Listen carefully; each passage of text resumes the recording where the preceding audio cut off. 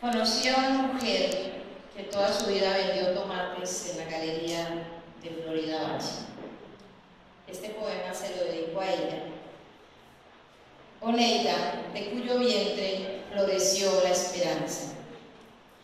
Lava la esperanza con manos del mañana, su brote de trigal la observa.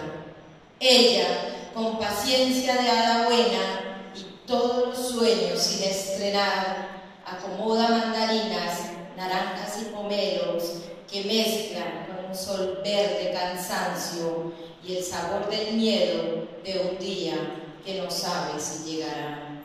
Aún así, acomoda frutos de una tierra que la desabraza y sonríe a su brote de trigal. Él espera para germinar la luz de sus ojos. Ella, corajuda, ve pasar veloz los sueños y con fe los alimenta.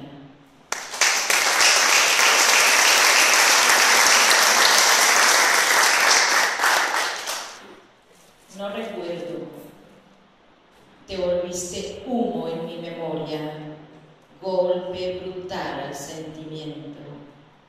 Y ahora eres menos que el humo, porque el humo huele y su olor molesta, pero tú ni tu olor aparece.